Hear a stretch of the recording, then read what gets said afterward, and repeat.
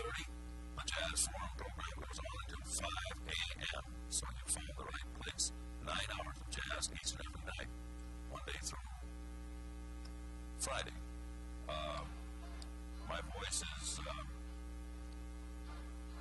if you have a low voice, you know, it's like it's like uh, an athlete or anything else in the competition. You keep checking you hear somebody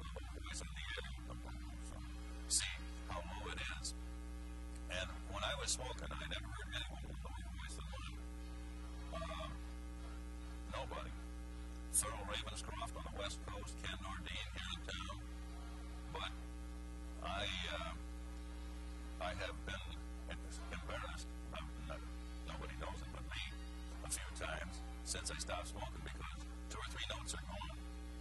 It's not as low as it used to be. I was swinging at the Waldorf, done for you by Count Basie and the orchestra. They used to have these all-star shows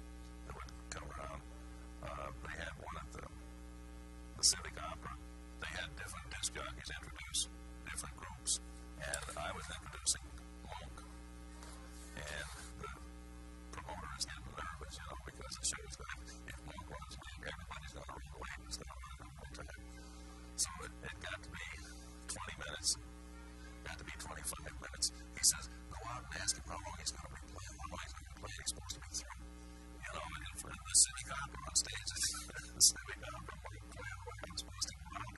And then I felt sorry for the promoter, so I foolishly did. I went out to the piano like a like a crippled tarantula, the way he played, you know,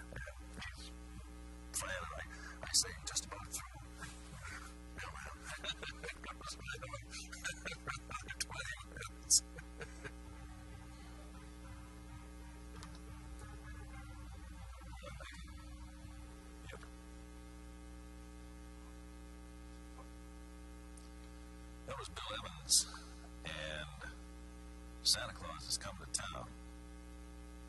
And uh, I just did, I caught myself, said, put the wrong record in the wrong jacket here. And uh, if that would continue, sometimes I'll take a record out, get ready to play it, the wrong record the wrong jacket. And then I go home when I get back and there's a wrong record in that jacket.